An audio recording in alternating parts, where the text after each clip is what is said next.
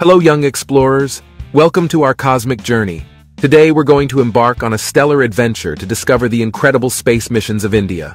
Are you ready? Let's blast off. Our story begins many years ago in a beautiful country named India.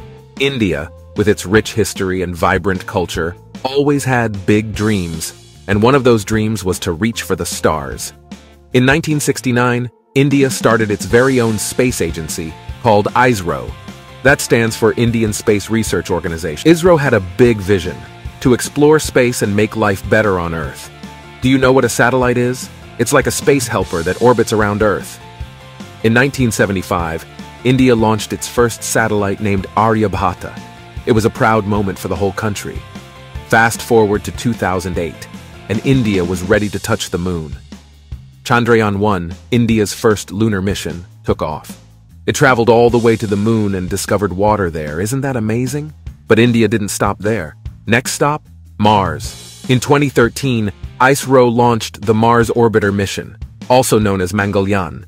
It was a super special mission because it made India the first Asian country to reach Martian orbit, and it did it on its very first try. India's space journey continues, with missions like Gaganyaan, which plans to send astronauts into space, the sky is not the limit for India.